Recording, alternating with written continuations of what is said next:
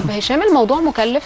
يعني البرامج اللي انت بتستعين بيها في التلوين أو الترميم هل هي مكلفة بالنسبة ل... لمشروع زي ده؟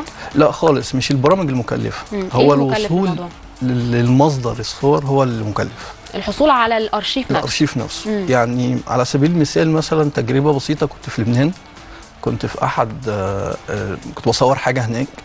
وقابلت حد آه، شخص ما عنده آه، غرفة مليئة بأرشيف السينما اللبنانية وأرشيف السينما المصرية في الستينات تراث ها. تراث رهيب جدا كنز يعني فكان. بصراحة فرصة إن أنا تواصلت معاه وقابلته فعلا في لبنان ودخلت عنده الاستوديو وبدأت أصور حاجات بالكاميرا بتاعتي وقعدت أعمل حاجات فطلبت منه طلب إن محتاج منك بعض الصور أو بعض الحاجات وكده فالراجل بصراحة مشكورا اداني 1000 افيش.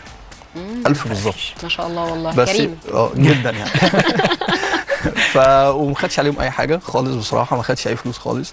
بس كان إن أنا أ scan المساحة بتاعت الأفيش ديت وأخليها على A4 صغير. ده دي كان ده المكلف بقى. وكان طبعا على حسابي وفي لبنان فالموضوع بيبقى أغلى شوية. فدي كانت ال- دي الحاجات اللي هي المكلفة. إنما البرامج هي source موجود على الإنترنت ننزله ونعمله تحديثات كله على الإنترنت ما فيهوش أي تكلفة خالص.